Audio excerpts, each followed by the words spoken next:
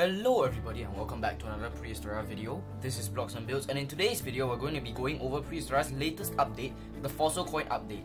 Besides going over the update's content, we will also be talking about Prehistoria's soon to come Iguanodon update as well as future features that may arrive to the game.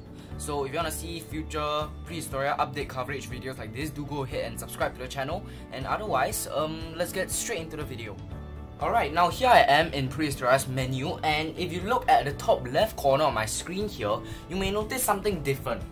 There used to be Firefly coins up here, but now they've been replaced with a new kind of currency called Fossil coins. Now I like the way the Fossil coin looks, the hexagon shape plus the bone in the middle.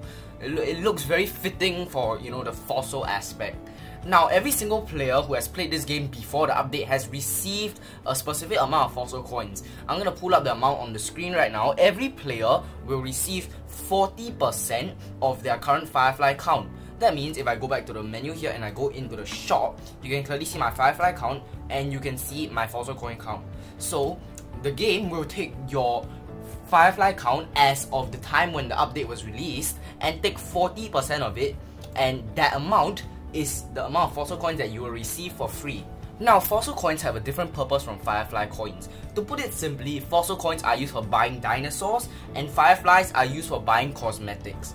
If we go into the create dinosaur menu over here, you can see at the top right that my fossil coins are up there. And if I go into unowned, herbivores or carnivores, I don't have any unowned carnivores, but if I go into herbivores, you can see that it costs 1,400 fossil coins to research Styracosaurus. In the past, uh, it would have cost a few fireflies, but now, the instead of costing fireflies, dinosaurs will now cost fossil coins. Now, as for fireflies, their new purpose is to buy skins. As you can see, I have some skin palettes available here that I can get, and they cost fireflies. The lime accent unlocks for 100 fireflies, and the other skin palettes for the other body regions unlock for fireflies too. Now I really like this new change to the game because it makes the decision between buying a new dinosaur or making your existing dinosaurs look prettier so much easier to decide in between.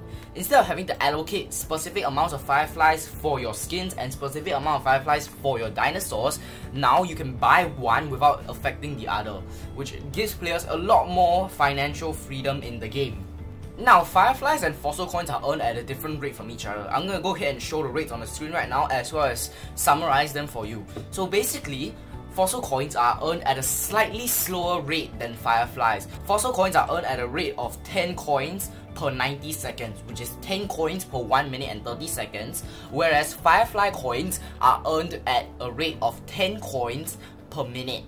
So it will take slightly less time to earn more Firefly coins, meaning you'll be earning way more Firefly coins than earning Fossil coins. Now, if you look at the top right of my screen here, I'm currently in game playing as the Baryonyx. You can see the two new currencies. We have the Firefly coins on the left and the Fossil coins on the right. Now, besides passively playing the game to earn fossil coins and firefly coins, I believe that in future, fossil outcroppings will be added to the game that can be collected to obtain fossils. Now, there's not much information on fossil outcroppings as of now, but I suspect, and I have a few theories, that they're just gonna generate like the usual EXP crystals over here. You'll find them in rocky areas around the map, and collecting them can give you a tiny bit of fossils. Alright, now that we have the current update out of the way, it's time to get on to the next few possible updates for the game. Now, the next confirmed update will be the Iguanodon update, where Soulsplosion will add a new dinosaur, the Iguanodon, and he has explicitly stated that the Iguanodon doesn't actually look like what we've seen in the concept art. I'm gonna go ahead and show you guys the concept art on the screen right now, and show you guys a little teaser that Soul posted a while back for the Iguanodon. And as you can see there, the head shape, the snouts are a little different from the concept art. Besides the Iguanodon, the upcoming update will also feature some new biomes to the game, namely the mangrove and some parts of the tropical beach. Now, the tropical forest shorelines that are coming next update are part of the overall Great Lake map expansions, which is a group of upcoming updates that will expand the map to add in the upcoming Great Lake biome, which from what I know as of now, is a huge lake in another portion of the map that has not yet been completed. Now, besides these new features that have been confirmed to come in the next update, we also have some new dinosaurs that have been announced. Now, if I go ahead and look in the priority 2 section of the roadmap, which is the Trello board, I'm going to post a link to the Trello board in the description below, so if you guys want to take a look, you can go see yourself. But, if you look at the priority 2 section, we can see two new dinosaurs in there. There's the Nothronychus, which is a kind of Therizinosaurus, I think, or relative of Therizinosaurus. And then we have the Austroraptor, which is a Dromaeosaurid, a raptor, which is actually pretty big. I think it's near the same size as Utahraptor, although it's lighter. Now, if we go into priority 3, we can see the same old Struthiomimus, but however, we can see there's two new dinosaurs, the Carnotaurus and the Simosuchus. Now, if we move on to priority 4, there's three more dinosaurs that have been announced. Tarchia, Thalassodromeus, and Tarbosaurus. Now, Tarbosaurus is, I think everyone knows, related to Tyrannosaurus. Then there's Tarchia, which is a relative of Ankylosaurus. And then we have Thalassodromeus, which is a kind of pterosaur. In priority 4, we have the Microraptor, which we all know already. But besides that, we also have the Coelacanthus, which is again another relative of Ankylosaurus. And in priority 6, we have 4 dinosaurs announced. Halszkaraptor, which I think was already there before. Eutyrannus, At Atopodentatus, and Beelzebufo. I'm probably butchering these pronunciations right now. In priority 7, we have the Spinosaurus, which you already know about, the Ankylosaurus, and the Pachyrhinosaurus. Uh, Pachyrhinosaurus is one of my favorite dinosaurs, so I I'm quite excited for that. And lastly, at lowest priority, priority 8, we have Quetzalcoatlus and Pachycephalosaurus.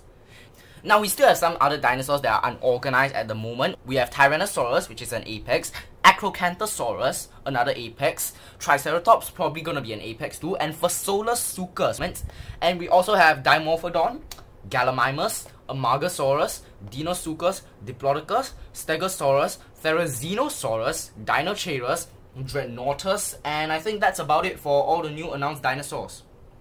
Anyways, with the new roadmap being updated and loads of new dinosaurs being uploaded into the roadmap, I'm pretty excited for them. However, I want you all to note that these dinosaurs have not been directly announced by Soulsplosion yet, they're just in the Trello roadmap, so I'm not sure if they're confirmed or not. And most of them are actually quite low on the priority list, so I wouldn't bet that they're gonna come anytime soon. I think the game is gonna have some refining to do before they finally come.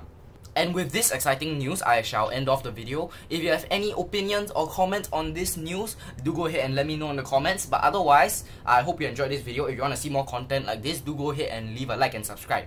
And that's it for today. So this is Blox and Builds with another Roblox Prehistoria video. Signing out.